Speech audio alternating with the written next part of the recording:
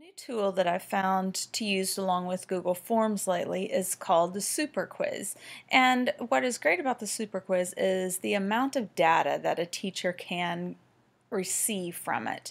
If I am going to use it, I would really just create my quiz the way that I normally would, but there's two extra features that I would put on.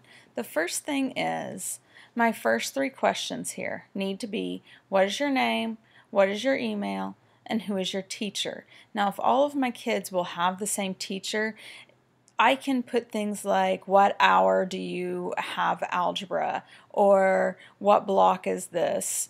So there's a little bit of room to play with this. Now, the next piece is I can separate the types of questions I'm asking. So think about if I were doing anything like standards-based grading, this would be very helpful to me.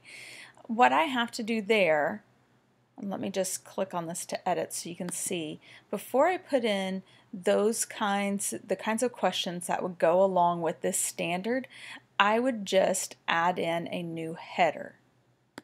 And then I want to separate out the questions that would meet that standard to that header, just like I did here.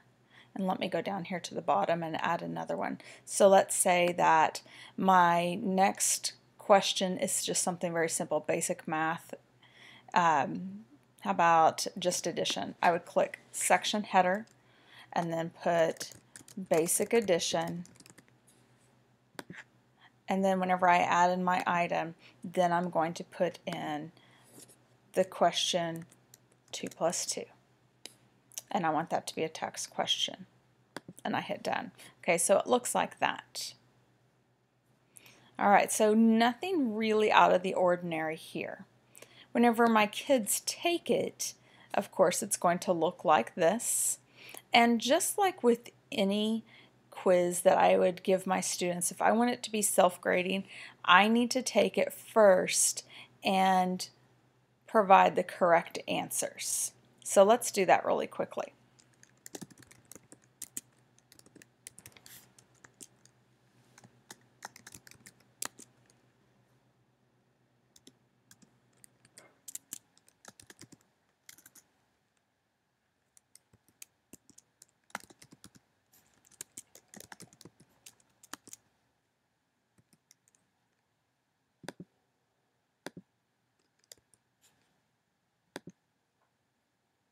And then whenever I'm done, I hit submit. And that's done. So now what I'm going to do is go in to my responses. And they're right here. Here's all of my answers that are the correct answers, just going along there. And now I want to go to add-ons and I've already installed the Super Quiz add-on. If I haven't done that already, I'm going to have to click on Get Add-ons and search for Super Quiz. And then I would just click Add-on right there. But I'm going to go here and then click Get Started.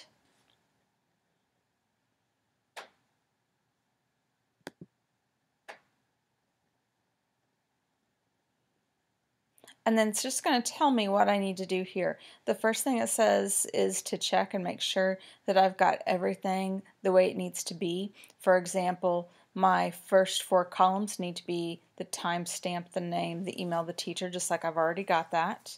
And then it also says that I want to make sure that I've got those section headings and then to delete any any columns that are in there that are empty. I don't have that. So whenever I've got everything the way it's supposed to be, I click Create Tabs, and this just takes a minute.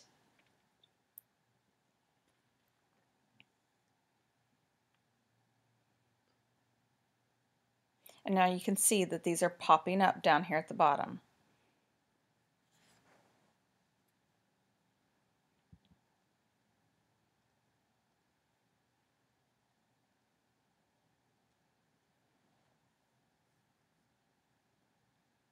And now it's complete. Now, I'm going to go into another one that I have that is completely done and show you what those tabs do.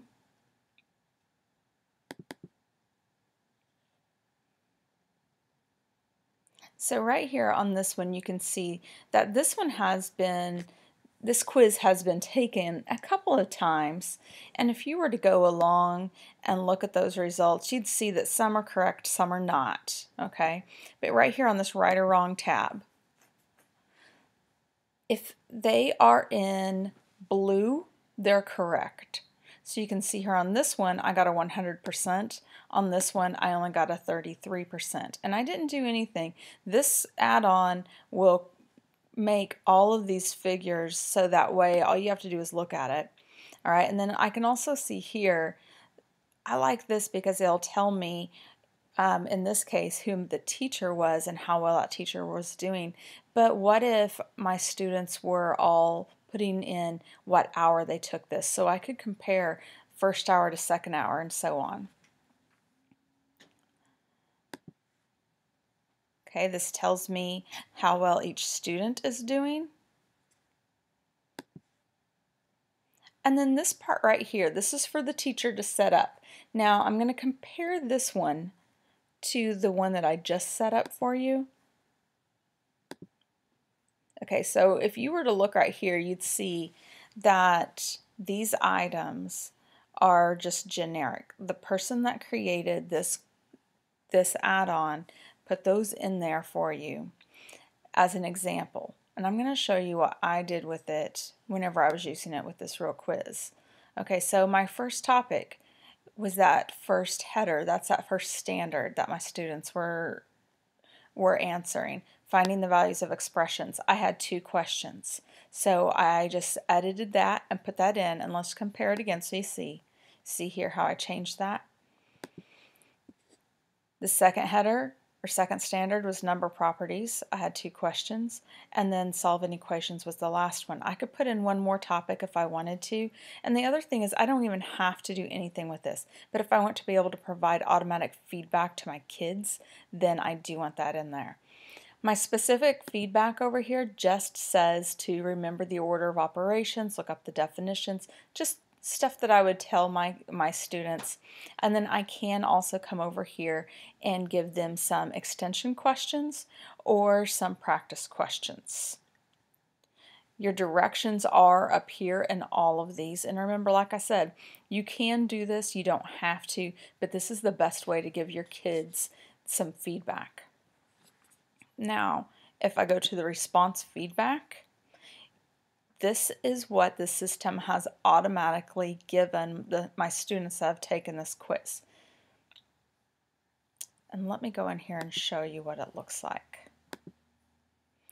SuperQuiz automatically makes a folder in my drive and then these are the documents that is sent out. This is the key that doesn't do anything but here on the SuperQuiz this is the student that did very poorly or excuse me, this is the one that did very well. They got an A, and so it tells them here's what you need to do, and here's your extension question. On this one here, see the student got a grade of an F, so there's a lot more information there for that student telling them what to look up, what to practice.